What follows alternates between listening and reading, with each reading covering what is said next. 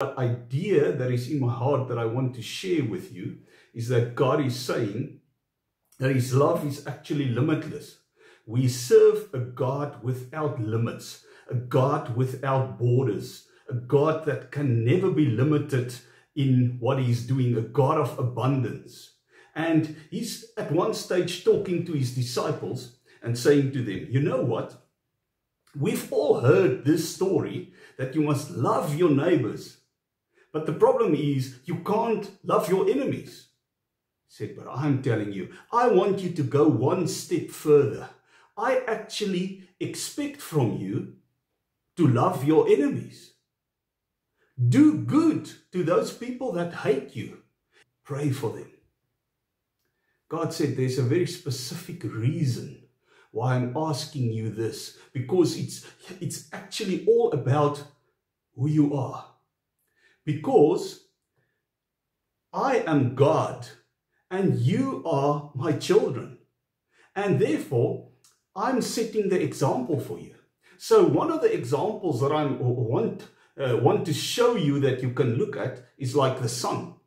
Um, it, the sun was not just shining on the righteous people and there wasn't like darkness on the evil people. God said, no, the sun was shining on both good and evil people alike. And the same with the rain. He's not just blessing the righteous, he's even blessing the evil people. And he said, um, if we only love people that are doing good to us, there's actually nothing in it because the people of the world also do exactly the same. If you are good to me, then I will be good to you. If you ignore me, then your performance wasn't good enough um, to pay for my love, and therefore I will withdraw my love.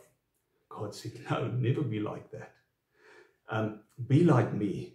I've poured out my grace on you as people and you didn't have to pay anything for it. It's, it's for free. You didn't have to perform for it. I just did it for you because I love you, even while you were still my enemy. So I expect from you exactly the same. Because in those days, the tax collectors, they were looking down at the Jewish people.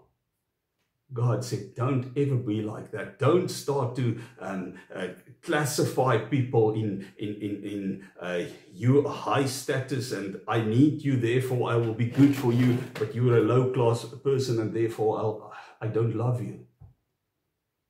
And then God is saying the, the very important thing. Jesus is saying this very important thing in verse 48.